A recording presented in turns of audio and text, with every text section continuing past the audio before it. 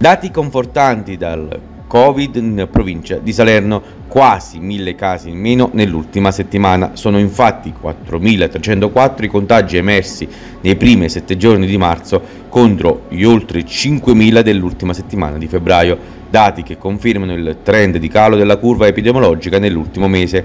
Il dato diventa ancora più confortante se rapportato allo stesso periodo del mese passato, che ha fatto registrare circa 7.000 infettati in meno con 11.500 casi.